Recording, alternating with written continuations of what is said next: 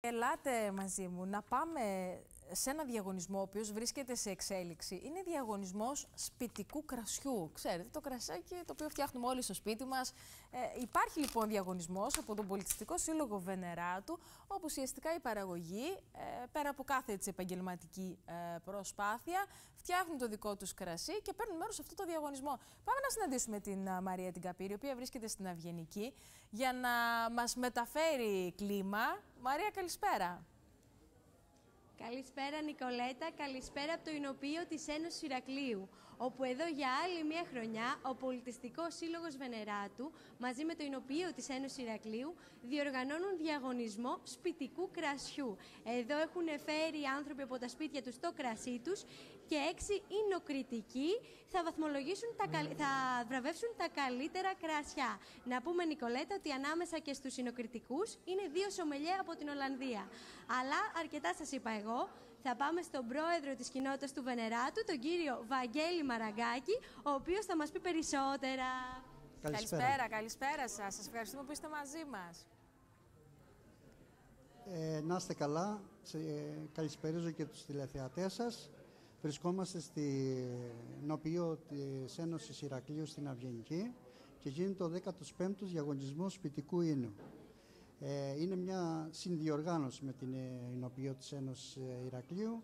Ε, Κύριε Μαραγκάκη, ποια ήταν ουσιαστικά η αφορμή για να ξεκινήσετε αυτό το διαγωνισμό κάθε χρόνο; Τι θέλατε να πετύχετε σαν Βενεράτο; Ε, θέλαμε να πετύχουμε ε, την ποιότητα, την καλύτερη ποιότητα στους σπιτικούς ίνους, στο σπιτικό κρασί.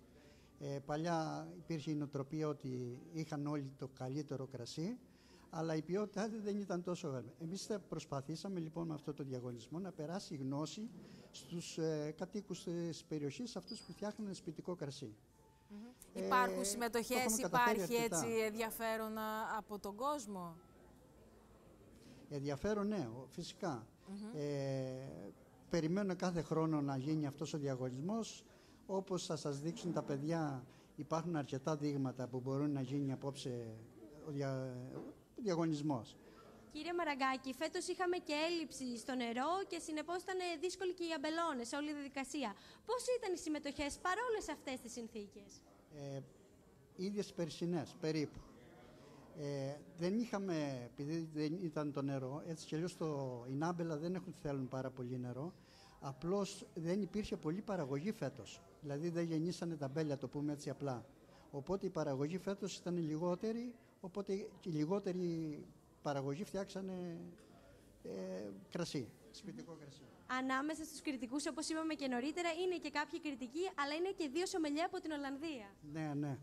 Ε, θα προσπαθήσουμε να το κάνουμε διαθέτω το διαγωνισμό μας, οπότε... Ναι να αρχίσουμε και να δημιουργούμε, Νικολέτα, ένα κρασί διεθνών προδιαγραφών. Γιατί όπως μας ενημέρωσαν και νωρίτερα οι Σομελιέ, έχουν σοκαριστεί με την ποιότητα κρασιού. Για τα σπιτικά κρασιά μιλάμε τώρα, έτσι. Γιατί η αλήθεια είναι ότι σε επαγγελματικά. Ναι, γιατί σε επαγγελματικό επίπεδο είμαστε πάρα πολύ ψηλά, η αλήθεια είναι αυτή. Δηλαδή, όσοι επαγγελματικά ασχολούνται ε, με, το, με το κρασί, αλλά το σπιτικό βέβαια, αυτό που. Οι επαγγελματίες είναι στην περιοχή μας είναι φοβερή. Δηλαδή η ποιότητα των κρασιών που έχουν ενοποιεί της περιοχή μας είναι καταπληκτική. Και γενικά η Κρήτη φημίζεται λοιπόν για το καλό κρασί της και, και είναι πραγματικά πολύ ωραία διαδικασία αυτή. Αλλά αυτό το σπιτικό κρασί που ο καθένας το έφτιαχνε και ξέρετε, το μάθαιναν κύριε Μαραγκάκη, με μόνο η στενή του φίλη, οι παρέ που μπορεί να έκανε ένα κέρασμα σε ένα τραπέζι, όταν θα άνοιγε το σπίτι του για κάποια χαρά, που μπορεί κάποιος να πίνει το κρασί να του έλεγε Πω, πω, τι ωραίο κρασί που έβγαλες φέτος. Αλλά έχει αξία όταν μπαίνει και σε ένα διαγωνισμό, έτσι δεν είναι; Βεβαίως, βεβαίως. Και να πούμε και κάτι άλλο, ότι και οι νοποιοί της περιοχής έχουν βοηθήσει αυτό το διαγωνισμό με τον δικό τους τρόπο. Δηλαδή τη γνώση τους σε, στους ανθρώπους που ρωτάνε πώς θα κάνουν καλύτερο κρασί. ε, κύριε Μαραγκάκη, θα δοκιμάσουν εδώ οι κριτικοί τα κρασιά.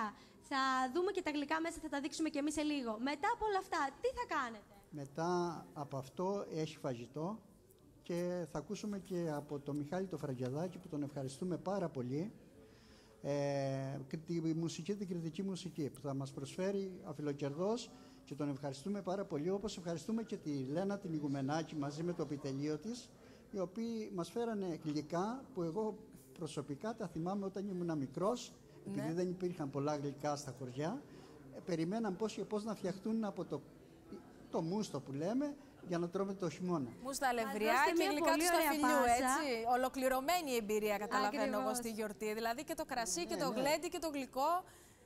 Πολύ ωραία Ακριβώς μέρα. όλα.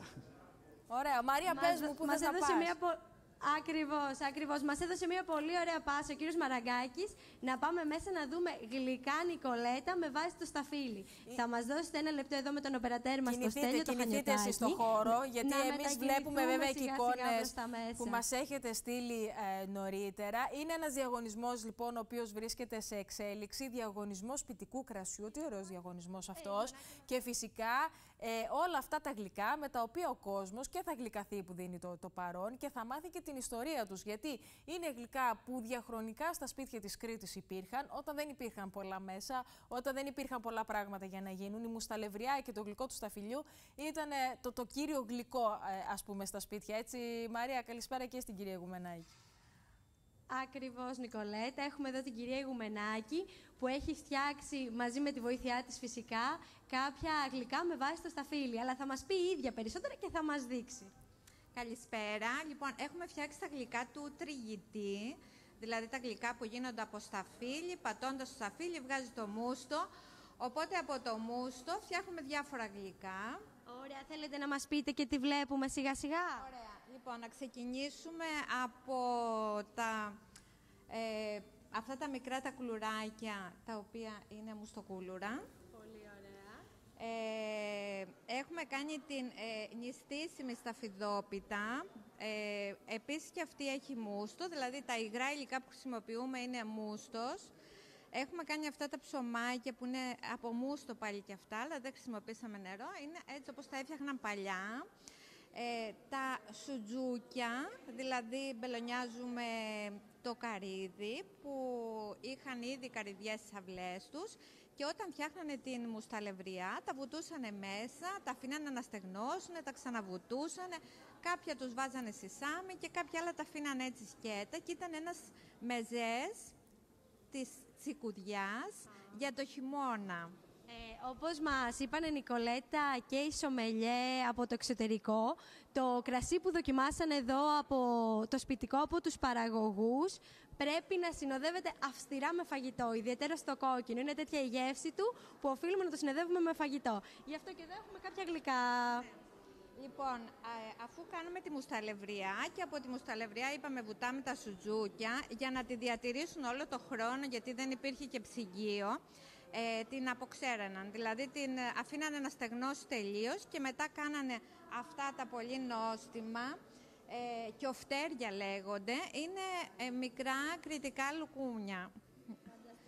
Ε, και, οπότε έχουμε δύο διαφορετικές σταφυδόπιτες. Αυτή είναι μουστόπιτα που είναι εδώ κάτω. Εννοείται το γλυκό του σταφυλιού, το οποίο το χρησιμοποιούσαν και το βάζαν και αυτό με σπίτες. Τη μουσταλευριά. Τώρα που αναφερθήκαμε και στη μουσταλευριά, εδώ πίσω βλέπω τις γυναίκες να ετοιμάζουν σιγά σιγά τη μουσταλευριά. Να πάμε λίγο πίσω να δούμε τι συμβαίνει και εδώ. Πέρα μας. Ελάτε, γεια σας, καλησπέρα. Και να μας εξηγήσουν και τι κάνουν ε, αυτή την ώρα, Μαρία, έτσι φτιάχνοντας λοιπόν τη μουσταλευριά, αυτό το καταπληκτικό γλυκό. Τι κάνετε τώρα ακριβώς, σε ποιο στάδιο της Παρασκευής της μουσταλευριάς βρίσκεστε; Τώρα τον ψήνομαι. Τον ανακατεύομαι σιγά σιγά με μεγάλη υπομονή. Επειδή έχει μέσα το αλεύρι, το αλεύρι είναι ένα δύσκολο προϊόν και χρειάζεται μια συγκεκριμένη κίνηση για να μην μας κολλήσει. Σε λίγο, σε χαμηλή θερμοκρασία, σε λίγο θα είναι έτοιμο, θα πήξει, όταν κάνει φουσκάλες είναι έτοιμο και θα βάλουμε απάνω τα σουζάμια και τα καρύδια. Και θα έχουμε μια νοστιμότητα τη μουσταλευριά. Μαρία, μετά τον, Πόση ώρα περίπου. Μαρία, μετά τον αργαλιό, τον οποίο έκατσε έτσι προσπάθησε να κάνει, σε προκαλώ κλείνοντα τη σύνδεση να μάθεις πώς γίνεται τη μουσταλευριά. Ε, μπορεί να μην είσαι από Ωραία. την Κρήτη, Θα μείνω- όμως θέλω να έχεις συνολική εικόνα για την παράδοση της Κρήτη. Ωραία, Νικολέτα. Μπορείτε να συνεχίσετε την εκπομπή εκεί. Εγώ θα μείνω εδώ να μάθω τα μυστικά της μουσταλευριάς και θα έρθω πίσω να τα μεταλαβαδεύσω. Ήθελες να ρωτήσεις κάτι γιατί σε διέκοψα τώρα, ήθελα να σου πω. Ναι, ναι, ναι, ναι. Να ρωτήσουμε την κυρία Μαρία πόση ώρα περίπου παίρνει να φτιάξει την μουσταλευριά. Τώρα σε αυτό το στάδιο που βρισκόμαστε, περίπου σε ένα 20 λεπτά είναι έτοιμο. στάση, από την αρχή θέλουμε περίπου 40-45 λεπτά, περίπου, ανάλογα με το ποσότητα. Και ποια είναι τα μυστικά για καλή Γρήγορα, νησταλευριάς? Νικολέτα. Τα μυστικά θέλουμε να μας πεις. Ποια, ποια είναι τα μυστικά για μια καλή νησταλευριά, ζητάνε να μάθουν. Μυστικά της καλής νησταλευριάς είναι ο σωστός νούστος. Ο νούστος λοιπόν πρώτα απ' όλα είναι η επιλογή καλών φαπηλών, να είναι γλυκά και να είναι πολύ φυσικό. Να το κόψεις ή με αλεύρι, ή ε, συγγνώμη, ή με στάξη, ή με χώμα και σιγά σιγά μετά το να αφήνεις να βράζει πολύ αργά. Είναι μια δύσκολη διαδικασία ή θα μπορούσε και κάποιος που δεν έχει ξανασχοληθεί να κάνει νησταλευριά να μπει στην κουζίνα και να το πετύχει. Δεν είναι δύσκολο. Άμα έχεις νεράκι για φτάσει αγάπη, το φτιάχνεις το Οι νεότερες, οι νεότερες Να οι είστε εδώ κάθε κυρίες χρόνο. ε, και έτσι οι νεότερες οι γενιές ενδιαφέρονται. Μια τελευταία ερώτηση, Μαρία μου, και κατά πόσο Ωραία, υπάρχει ωραία. ενδιαφέρον λοιπόν και από τους νέους; Κυρία Μαρία, μια τελευταία ερώτηση σας κάνω. Οι νεότερες γενιές ενδιαφέρονται να μάθουν τη διαδικασία της νησταλευριάς και να φτιάξουν. Ε, εγώ νομίζω ότι πρέπει εμείς οι μεγαλύτεροι να τους το περνάμε. Να το δείχνουμε στα παιδιά και να το κρατάμε. Γιατί όχι. Εσείς έχετε διδάξει τα μυστικά της νησταλευρίας. Εγώ, εγώ έχω γιο, αλλά και πάλι θα φροντίσω να το κάνω. Γιατί όχι. Όχι ακριβώς. Σας ευχαριστούμε πολύ. Σε ευχαριστούμε και εσένα, Μαρία Εμείς Καπούρη. ευχαριστούμε. Σε αφήνω να μάθεις τα μυστικά της νησταλευριάς, ε, λοιπόν, να εξασκηθείς κιόλας Θα και να δοκιμάσεις μάθω αν τα δεν το έχεις μυστικά. κάνει. Θα μάθω τα μυστικά και θα γυρίσω. Να δοκιμάσεις κιόλας. Δεν θέλεις να το δοκιμάσεις. Ε, Εσύ θα πάρεις. Φυσικά, φυσικά, Νικόλα. Ευχαριστούμε πολύ, Μαρία Καπούρη.